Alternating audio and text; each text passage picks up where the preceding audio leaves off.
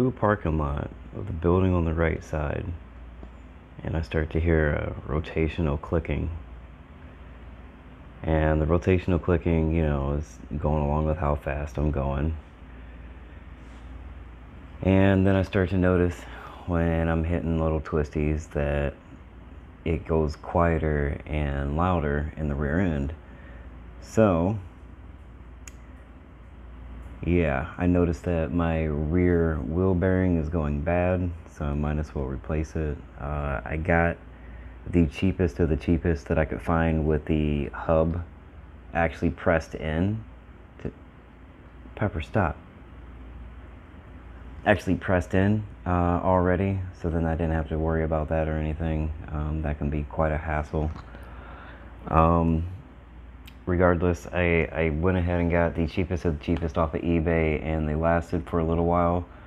But now it's time to replace those with something a slight bit better, which I got these a while ago. I replaced the driver's side a long time ago, uh, probably about 7,000 miles ago on the driver's side rear, and I bought them in a pair. And this is uh, the other one which would be my back passenger side. But these roll pretty good. And mm, I don't know if that, that helps out the, the part number, anything like that. But these come in the box with the hub already pressed in there. So I'm going to go ahead and disassemble the whole back side here and start to get that replaced. See if I can get that done uh, without without haste or with haste. I'm trying to get it done quickly.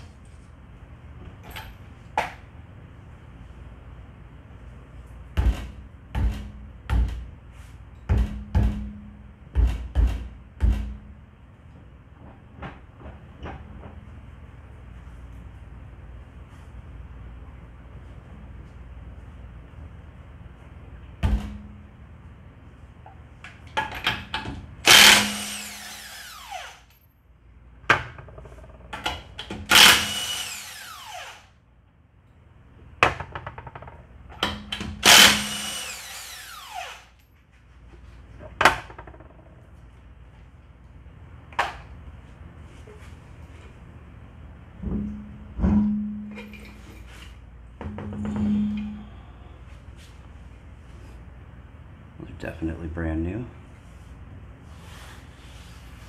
Not really. Really need replaced really soon. Pretty good burn off tires. Swing check.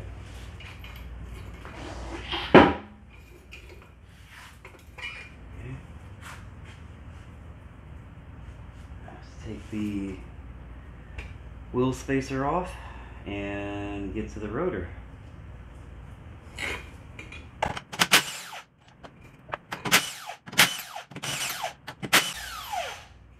And one of those was loose. Awesome.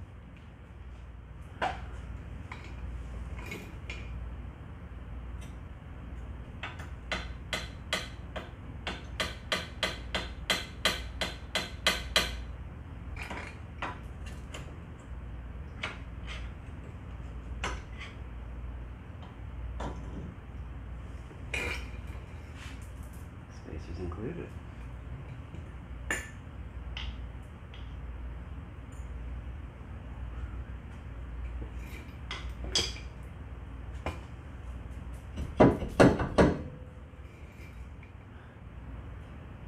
Rotor is loose, so since the rotor is loose, if it wasn't, then I would suggest hitting in between here without trying to strike that and messing up your threads.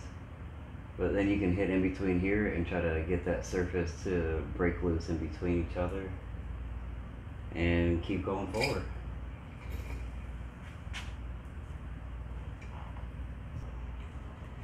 Alright, so I went and grabbed the socket that fits the center here and I have no idea.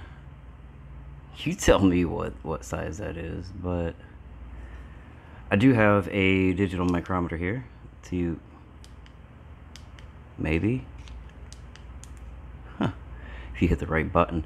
So that'll tell me uh, what size it is which it happens to be flat to flat. And it messed up. Let's see here 32 negative so let's try this again. Zero?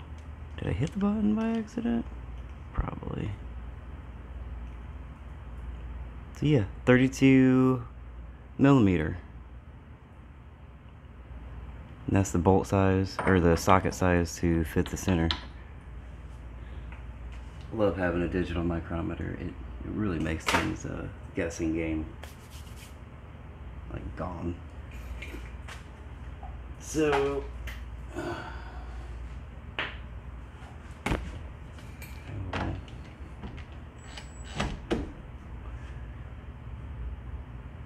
lot of times if you have to break, break an axle loose, you can shove a screwdriver in between uh, the caliper and the rotor because it has these little fins in between here and if you can get a screwdriver to stick in between there and jam that in between then it'll lock it all. But I know that there's enough resistance on this that it'll it'll just rip apart.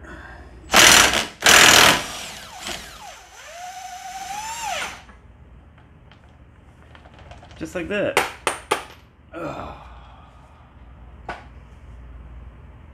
So real easy.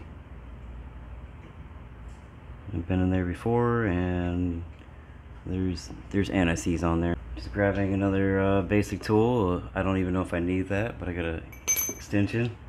Uh, this is a lifesaver just because it's ratcheting and you get a lot more torque on this little ratchet and it's from Harbor Freight, Pittsburgh. So I, I really uh, love that. And then I have a socket set. And take the, figure out what size caliper bracket bolt it is, starting with 19 fits on there perfectly. Make sure it's not 18, which it's not. Go for 19. Lock that all the way.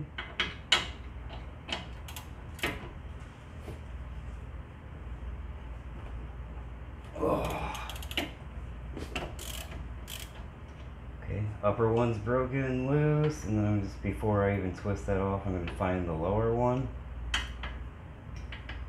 The main point we want to pull that off of there is so we can get the rotor off. I think this is where I needed the extension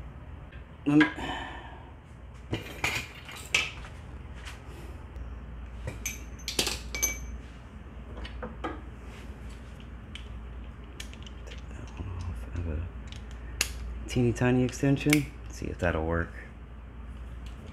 Still off. Find the bracket bolt. there.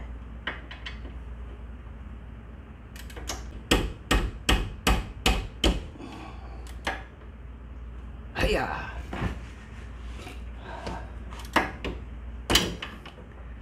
That little extension helped out a lot to get to that lower bolt down below for the bracket. Now, lock that back in real short and it's a lot easier with your swinging range and you can get a lot more done with a longer swing. Longer swing, less time.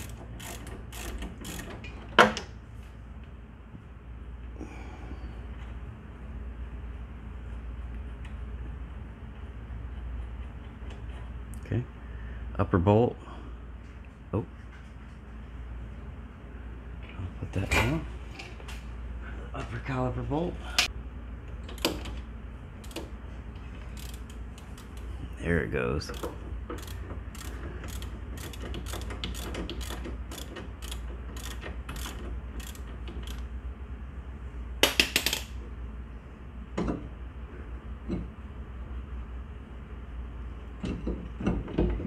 You know, wiggle helps to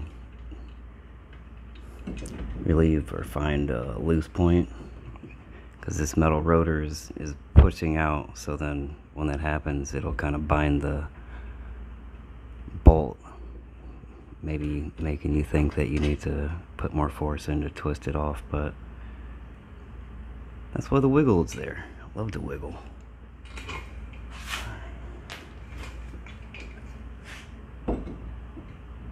Oh, nicely just put this over here maybe up here Okay, and then remove the rotor. Yay! There'll be four bolts to remove the uh, wheel bearing, I'm glad it's a bolt-on type. It's not necessarily a uh, press-on. There is some some pressing that can be done, but this is uh, generally spoken as a uh, don't know if that's the right size or not. 14. But this is this would be a uh, bolt-on style bearing. I like better, but let me see. Uh, let's see here. To get access to the bolts, because there's just little, too little a clearance to actually try and even figure out if that's the right one or not. All you have to do all you gotta do, okay. All you gotta do is use some persuasion, and that would be a uh, rubber mallet if you have one, just because you, I'm not going to uh, ruin any kind of uh, threads when I hit the top of this. If uh, you don't have a rubber mallet or a mallet that won't, uh, that is, you know, not metal, do yourself a favor and just put put this bolt back on. And when you put it on, screw it almost flush. Something like that. You're not ruining too much or you can even actually do it completely flat like that. Because if you hit that metal or even the nut and it kind of puts a bind on the front of the threads, you still have this bolt already on here to help rethread it when you take it back off. So that's just something that, you know, helps out a lot of times and tries to save you for trying to mash it up and then trying to put this on here, you know, at the actual right way. It goes this way, but putting that on there. So let me just give her a good whack or two.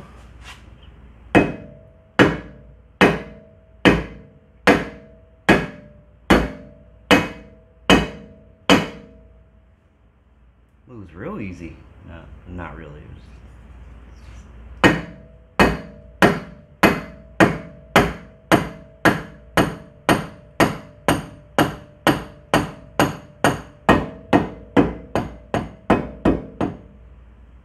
Wonderful. Wunderbar. Okay, and then I can even use a screwdriver. Was very tip just to, since it's already loose, staying away from the threads. Trying to.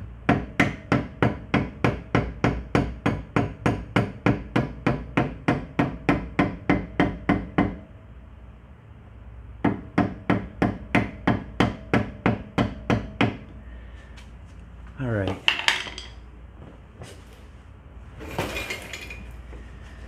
Now that's not going to back all the way out of there.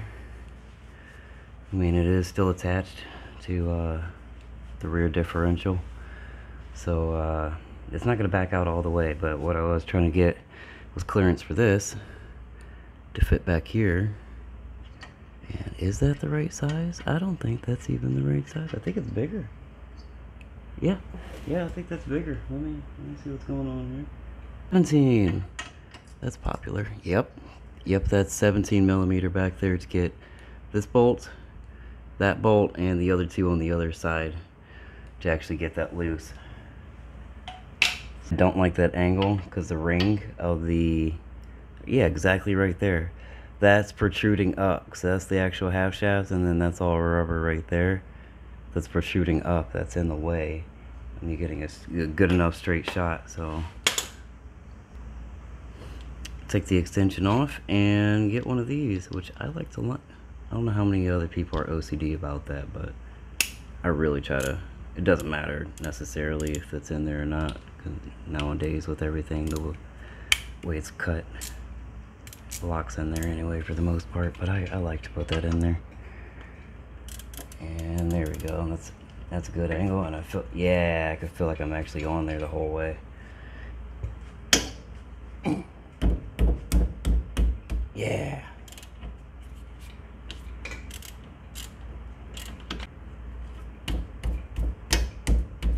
Yep, that's it. That's the bolt. You got room.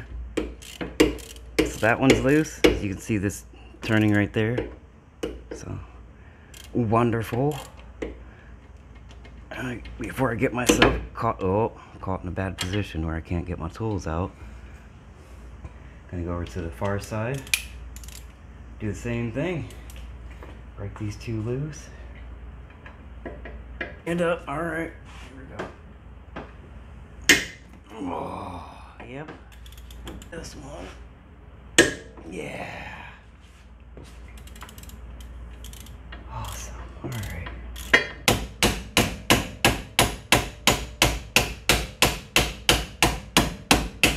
There we go.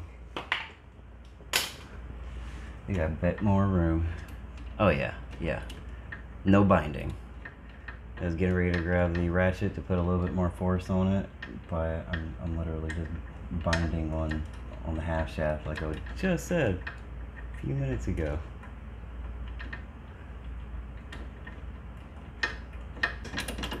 And I might have it, oh, no, okay, almost had it stuck. So it's already loose. Bolt number one. Just fighting for that and three more of them.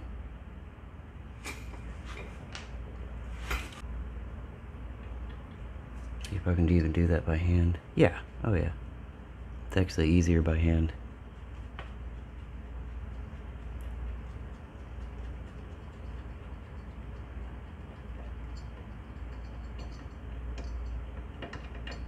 Oh, oh, there it is. Okay, number two.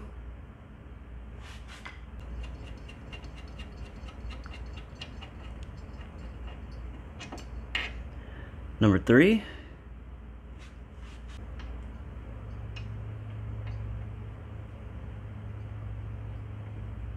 Why does the bolt always seem longer whenever your arm is burning, you know? Okay, there it is. Number four. Little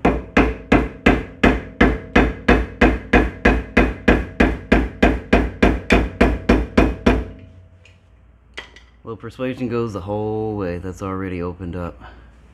And then, if you can see that moving now, yeah. Yeah. There you go.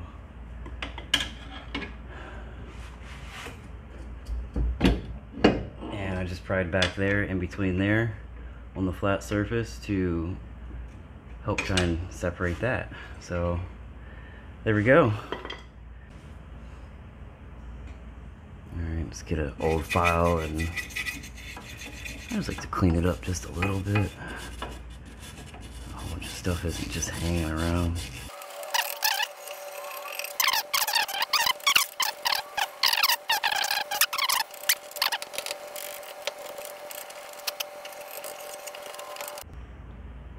So there is uh, forums of guys, or gals, guys and gals, people, um, who receive a clicking noise from the rear. And the clicking noise, uh, long story short, is basically uh, the these splines are dry, and because they're dry, they end up um, making some kind of a clicking noise against the actual uh, inside of the wheel bearing.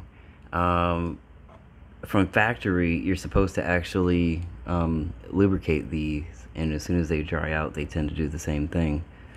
And what I have here is, yeah, ceramic, ceramic fortified brake system grease. And it's like, what are you doing to brake system grease? Yeah, well, negative 50 to 3,000 degrees. Uh, I don't think this is going to reach 3,000 degrees, but I do like that. And when I'm reading the back of this, uh, made from pure silicone, high temperature boundary, formulated to reduce brake noise, vibrations, and harshness by dampening on brake vibration, vibrating frequencies. um, will stay in place, not run in friction pads or rotors in extreme temperature ranges, you know, blah, blah, blah, provides protection against dirt, blah, blah, blah, corrosion, blah, blah, blah, repels brake dust, blah, blah, blah. So I'm, I'm thinking this is, this should work out. Uh, only thing there is is remove excess grease, keep lubricate off pads and rotors, which is pretty darn smart, if you ask me. So I'm to put a little bit of this stuff onto these splines and uh, go from there.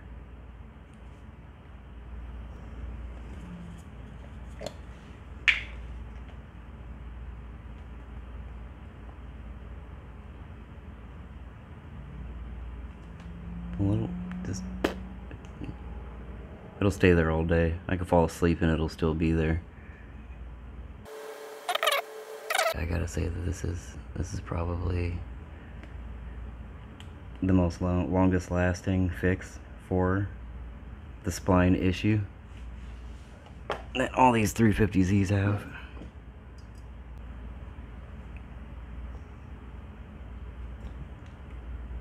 I don't know if you can see that, but on the back side there's just a little bit of that stuff, whatever that is. That is hard, and I don't like it on there, so just picking that off. Alright, now that that cleanup is just a hair done too, I'm going to just throw just a little bit of that back there. Just kind of help that along. Help any corrosion.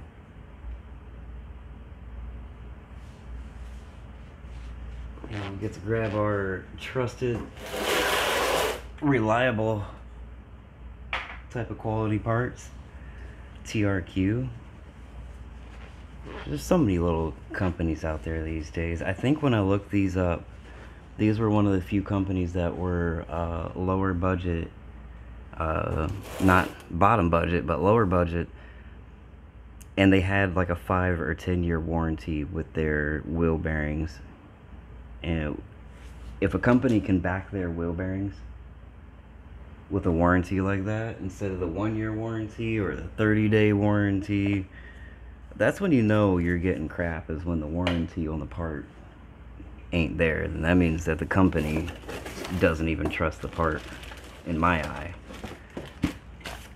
so TRQ trusted re reliable quality I like them so I'm gonna go ahead and line this up. How did that go? Was it like this? I think it was like this. All right. I'll go ahead and slide that together.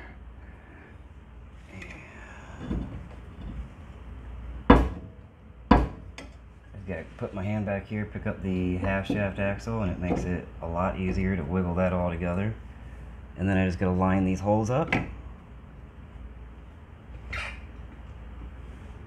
And start the bolts Just the whole whole thing backwards. But good thing is some things are supposed to move a little bit easier than than before you took it off. So hopefully get everything right. I think. Oh, here we go. Maybe. Is it starting? I think it's starting. Yeah, I think it's starting. Okay. Little to no resistance, I'm not cross-threading anything. beautiful. That one's in there and started beautifully. I like to do all four and start all four before doing any kind of final tightening. It's already threading by hand. Try to pull it out, just straight pull out, and it doesn't want to. That's how you know you're on the threads. If you don't know, now you know.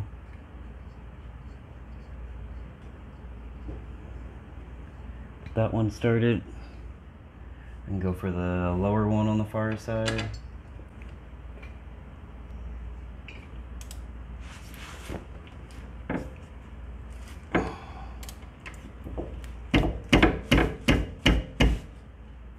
Click. Click. Nope, nope. There we go, there's a click.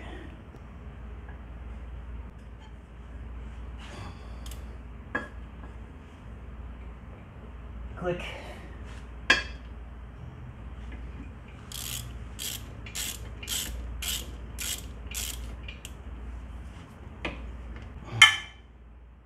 Hmm, I think it clicked for me.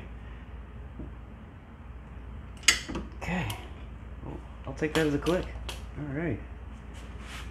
Now that the four bolts are back in here, all I gotta do is, hello?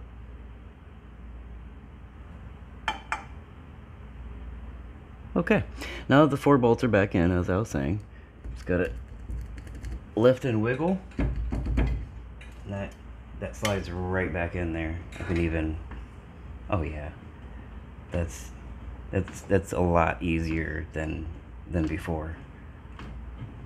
So, I'll tighten that there. Uh, there's usually always a washer there. This is a regular castle nut. So the only thing that's truly holding that on is the, the fine grooves and these little, the heads that really puts the, the vicing on it not wanting to move. And this is, this rotates. Every mile, every inch that you move, that this, this rotates. So if it doesn't lock in some way, if it's not a locking washer, then you might want some kind of a washer there. So I went ahead and found one and, you know, the spare stuff over there.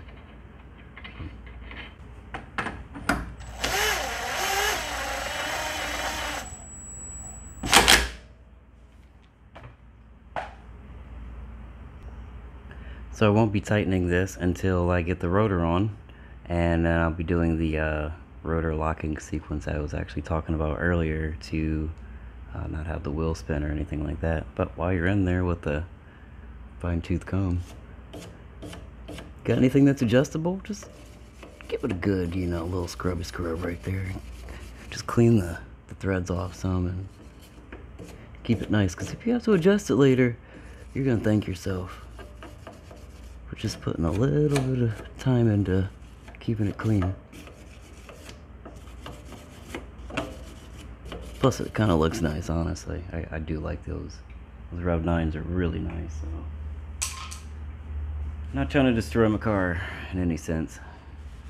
Um, let me get the uh, torque wrench out for the nut and uh, start putting this uh, rotors back together. Smear just a little bit of grease on that mating surface because that's what gets stuck on the rotor.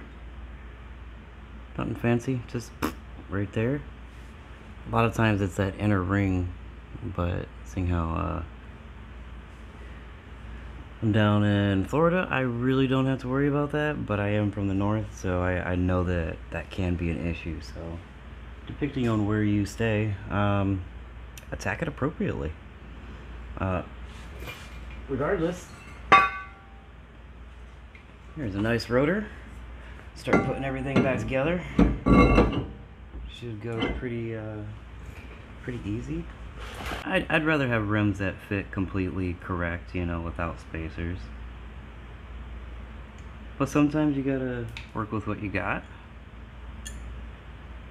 And I do have these spacers here, which will help hold this rotor on and keep it flat. Uh, two of these washers are bad, so I'm gonna go get two more. So we've got those. Uh,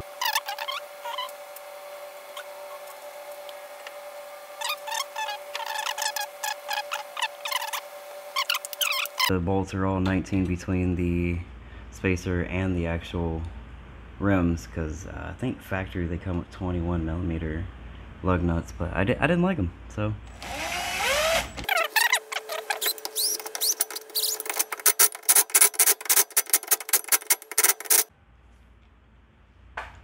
Had to give a little extra love to the new ones.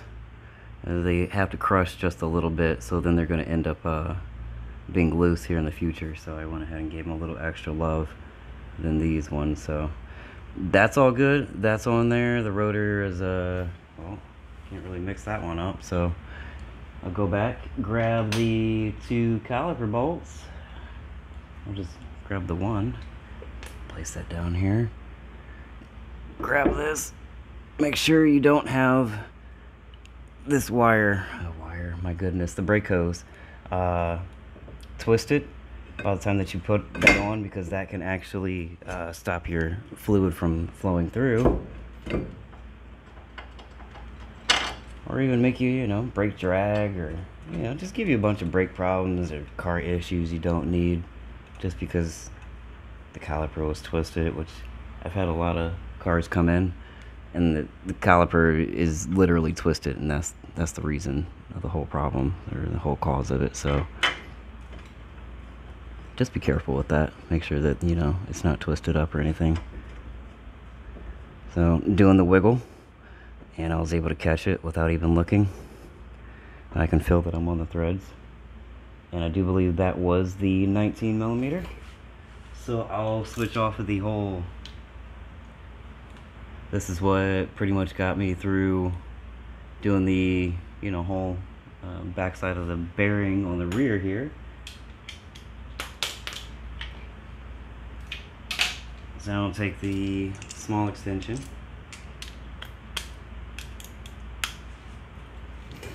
I love when I'm able to be on a job and then switch it from the off side to the on side, you know, it's just like a big, big step in the project. It's like, yay, kind of reached that halfway point. So to speak.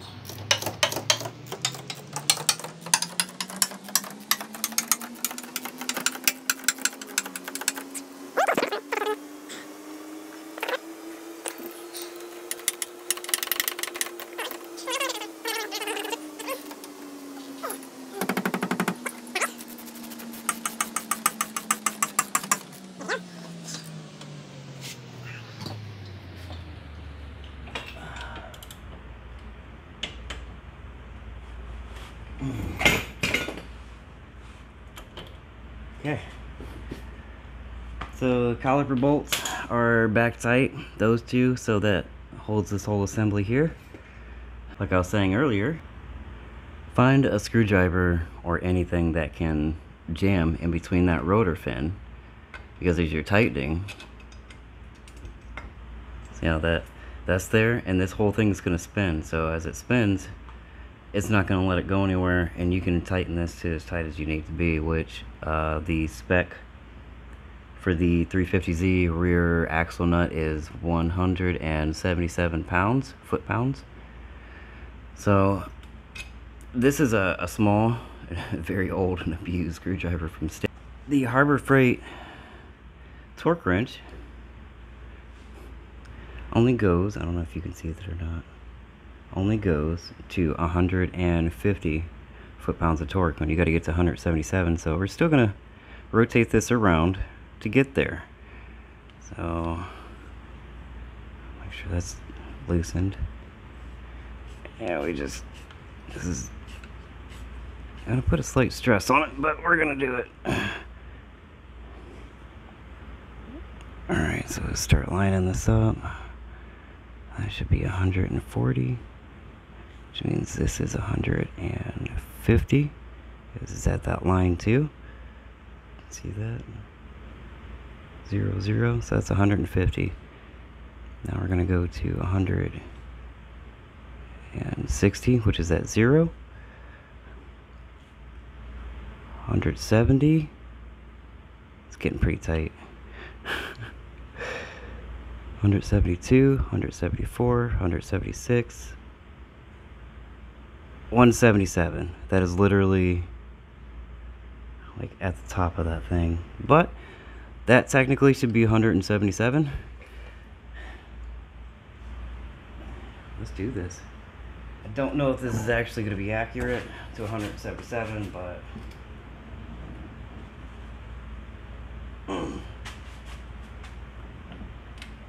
I don't even know if this thing still works. If it's cookie cookie or not.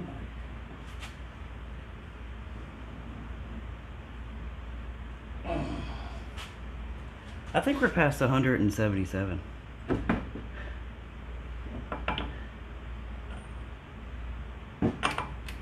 try it one more time. I'm pretty sure we're past 177. Accuracy has to be within 150 foot pounds there. There we go. Oh.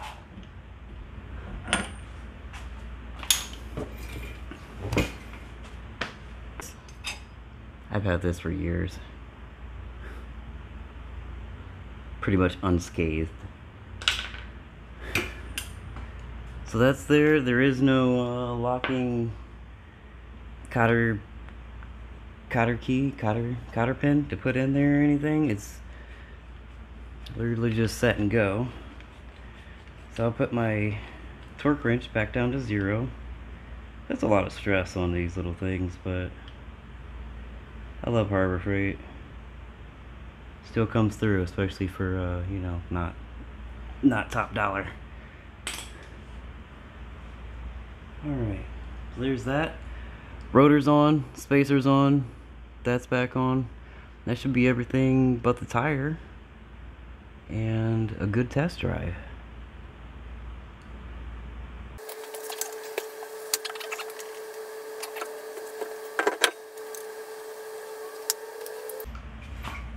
Advantage of using your socket. So much easier. Trying to do something like that. Like real small? No. No. Yeah. That's where it's at.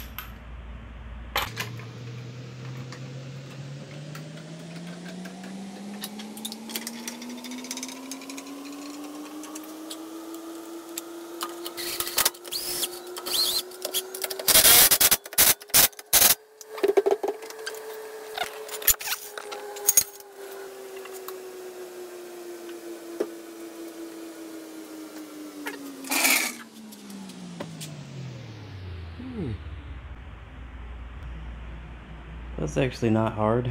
Uh, it's really easy. Just bolt on, bolt off, couple bolts. Um, just know what you're fighting with and having just a few basic tools. And it, I think it turned out pretty darn well. Uh, I still have to go on a test drive, of course. But overall, though, I, I really think that uh, that should solve my problem. what do you think, Pepper? Is it fixed?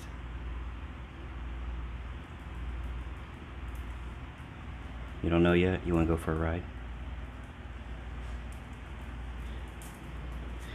yeah, you want to go for a ride, huh? Okay. Well, before me and Pepper go for a ride,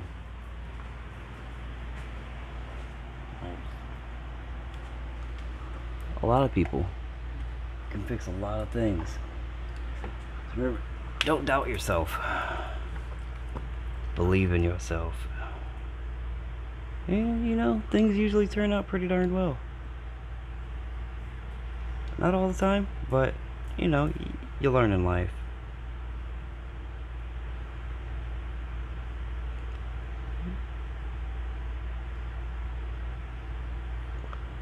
I don't know she's, is she gonna day eat? She usually eats at nighttime. I don't know if she's gonna eat during the day.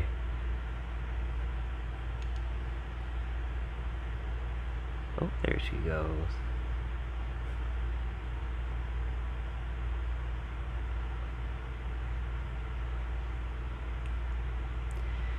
This is uh Chromatopelma, Sienna pubescens, uh, green bottle blue.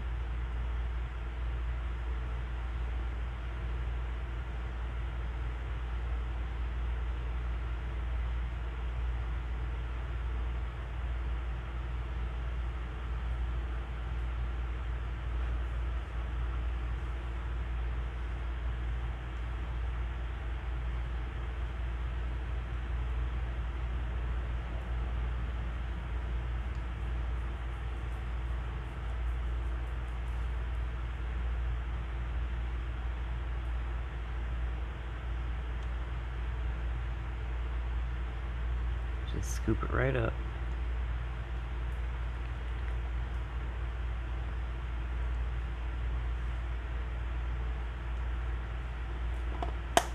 That works. That's not too hard either. You gonna say bye, Pepper? Say bye, Pepper. Pe Pepper, say bye.